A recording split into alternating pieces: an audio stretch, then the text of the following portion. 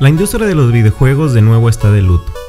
Y es que el fundador de una de las compañías más emblemáticas del mundo de los videojuegos ha dejado de estar entre nosotros. A la edad de 91 años, Masaya Nakamura, el fundador de Namco, ha perdido la batalla contra la muerte el pasado 22 de enero. Sin embargo, no fue hasta hace dos días que se hizo pública esta lamentable noticia. Si no conoces mucho de la trayectoria de este empresario y la huella que dejó en la industria, te invito a ver este video. Todo comenzó en el año de 1955, cuando Nakamura decidió dedicarse a la industria de la manufactura de atracciones infantiles, tales como caballos de madera para que monten los pequeños afuera de las tiendas departamentales, o en su tiempo el famoso Roadway Ride, que fue ubicado en el techo de la tienda departamental Mitsukoshi en Tokio en 1963 y después en todas las tiendas Mitsukoshi de Japón.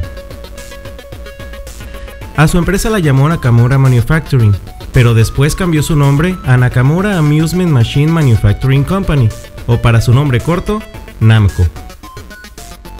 Y así pues fue inicio de lo que hoy conoceríamos como una industria de videojuegos.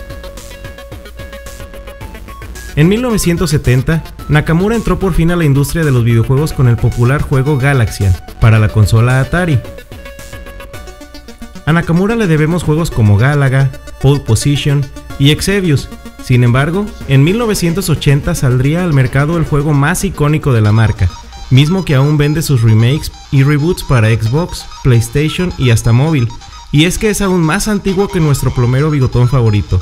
Y estamos hablando nada más y nada menos que Pac-Man. En 1990 la empresa de Masaya Nakamura era tan grande que logró cruzar el océano para llegar al mercado americano, instalándose y comenzando sus operaciones en Estados Unidos. Nakamura fue conmemorado con el premio Order of the Rising Sun en 2007 por el gobierno japonés gracias a sus logros. Es algo así como el premio Nobel pero en Japón. Actualmente Namco USA Incorporated continúa creciendo de forma global, con más de mil instalaciones con máquinas de videojuegos a nivel mundial. Tal vez Nakamura haya dejado de estar en este mundo, pero siempre agradeceremos su legado, sus juegos y las horas y horas de diversión que aún están por venir. Descansa en paz, Masaya Nakamura.